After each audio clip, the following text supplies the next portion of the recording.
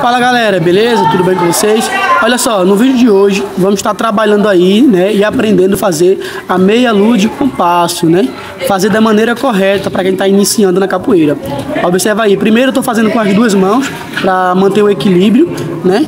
E treinando a postura do meu quadril, lembrando que vai girar o quadril e a perna da meia lua, ela tem que sair com o calcanhar apontado para o adversário e, né, parando a perna sempre atrás. Girei o quadril, a mão, ó, a mão não fica perto do pé que fica no chão, a mão vai ficar perto do pé que vai sair, né? É igual aquela música, troca o pé pela mão e a mão pelo pé.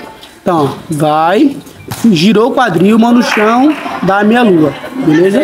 Olha, fui, fui, mão no chão, meia lua. Lembrando, a mão que vai no chão, ela tem que ir próximo do pé, próximo do pé que vai sair do chão. No caso, o pé que vai dar a meia lua.